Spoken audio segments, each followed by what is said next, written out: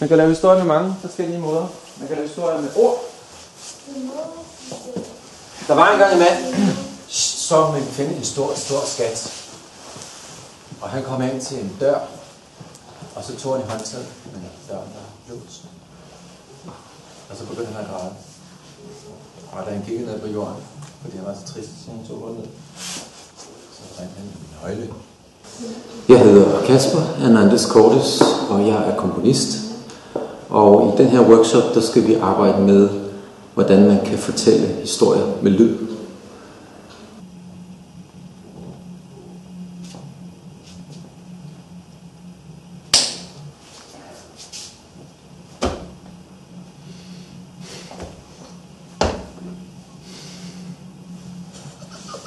Kunne I se, det var en historie uden ord.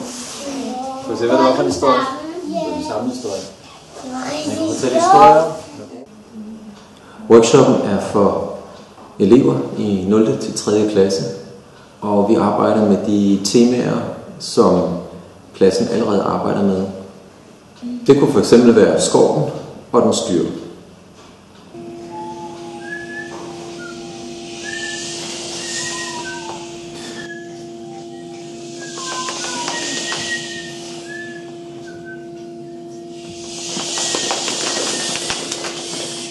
Når man arbejder med lyd som udtryksform, så har man jo en masse ting i spil, som man ikke vil have spil, hvis man arbejder med tekst eller billede. Altså det, at vi er omgivet af lyd, øh, at vi ikke kan se, hvad der er bag os, men vi kan godt høre det. På den måde så er rummet en meget vigtig øh, faktor.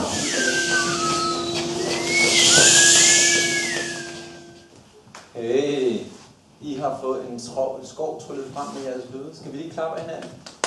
Så kan vi starte.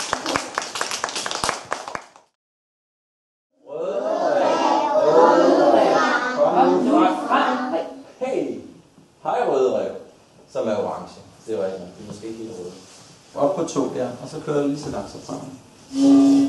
Okay, og du skubber bare helt op til, til tasken deroppe. Hmm, hvor er det dejligt at være her i dag med alle de børn.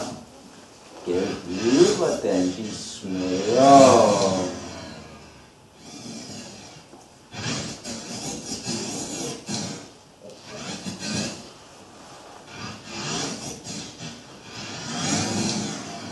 Smager. Ej, hvor er det dejligt at være her. Og samtidig tiden, hvis ikke at der er tid, så dør lyden. Og derfor så øh, er de her to elementer rigtig vigtige at have med.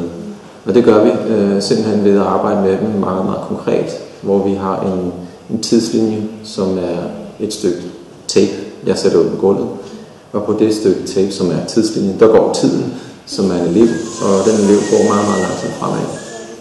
Og, og støder ind i nogle andre elever, som har nogle forskellige opgaver, meget enkle opgaver, som at være et dyr eller noget der ting. På den måde så kan man arbejde med tiden, uden at man skal tænke over, jamen, øh, hvad er formen på hele det her.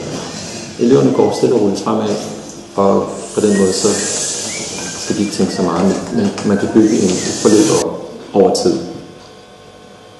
Og vi arbejder også med rummet på den måde, at vi har en, øh, en firkant, som jeg kalder den magiske firkant på gulvet, også lavet af malertape, hvor eleverne øh, går ind og kan forme øh, lyde, og de kan også forme de animationer, der er oppe på lageret samtidig.